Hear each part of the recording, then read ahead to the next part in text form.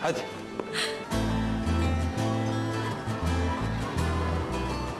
Nereden başlayalım? Çılgınsın sen. Nereden bildin Luna Parklara bayıldığımı?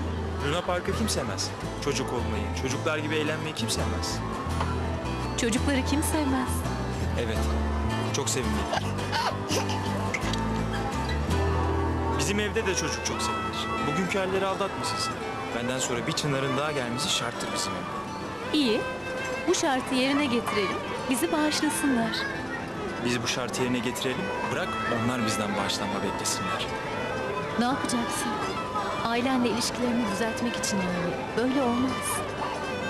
Annem senin gönlünü almaya gelene kadar geri adım atmam ben. Çok inatçısın. İnat iyidir. İnsanı hayata bağlar.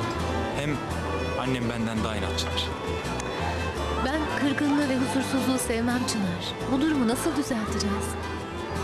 Merak etme. Her şey düzelecek. Şimdi söyle bakalım. Hangisinden başlayalım?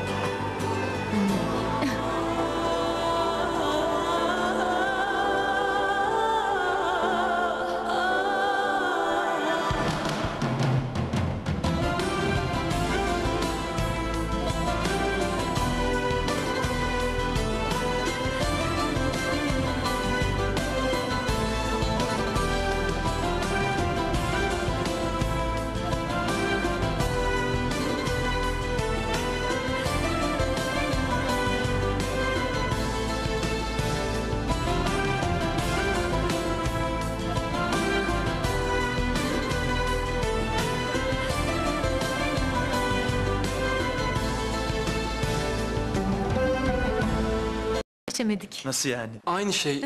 Geçen gün bir blogda okumuştum.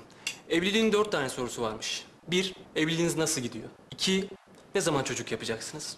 Üç, birbirinizi hala seviyor musunuz? Dört, hala evli misiniz? Biz ikiden sonrasını almayalım. Onu ben sorayım o zaman. Ne zaman çocuk yapacaksınız? Yapma abi ya, daha balayındalar. Bizi bırakın. Kendinizi anlatın bakalım biraz. Özellikle Yeşim sen anlat. Çok özlüyorum seni. Okyanus giremedi onların arasına. New York Milano arası mekikte kurduk biz. İki kardeş birbirimizden ayrı kalamazdık. Ama aramıza Çınar girdi. Ayırdı bizi. Ee, ne ayrılması? Mutluyuz. Beraberiz. O zaman mutluluğunuza. O zaman yeni aşıkların şerefi. O zaman dünyalar güzeli işime.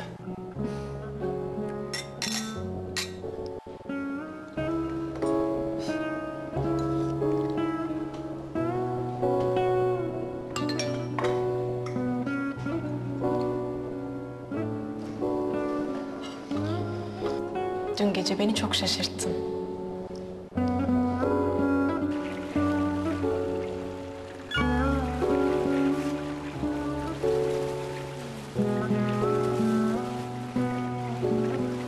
Başlıyoruz. Peki başlayalım küçük hanım.